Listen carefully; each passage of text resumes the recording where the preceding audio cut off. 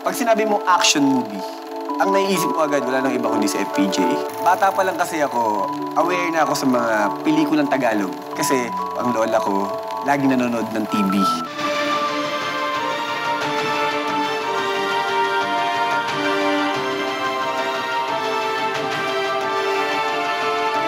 Kapag sinabi mo sa FPJ, di ba, siguro naman walang magdidisagree sa akin na lahat tayo nire-respeto siya dahil napakaganda ng iniwan niya sa ating imahe. Originally kasi, hindi yun yung concept talaga that uh, was pitched.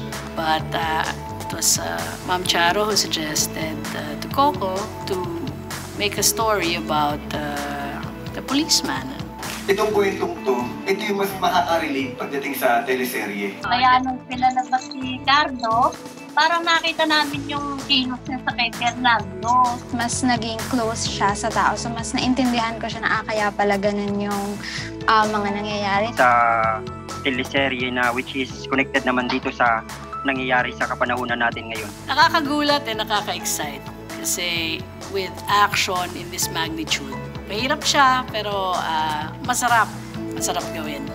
Nung bata ako, dahil syempre nahihilig ka sa action, ang tingin ko sa kanya, superhero. Sana dumating yung time na nag-abot kami na naging artista na ako. Sana dumating yung pagkakataon na nakilala ko siya personal. Alam kong hindi ko mapapantayan. Alam kong hindi ko malalampasan. Pero para sa akin, sabi ko nga, yung makagawa lang ako ng isa sa mga pelikula o yung mga obra niya, isang napakalaking karangalan para sa akin yung bilang artista. Wala pa naman noon si Coco.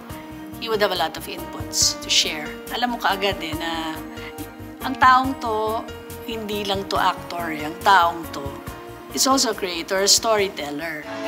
gagawin ko yung pinaka-best ko para dito. Pag pay tribute ma lang ako sa kanya na bilang pasasalamat, kung nasan man ako ngayon, isa to sa mga minana ko mula sa kanya.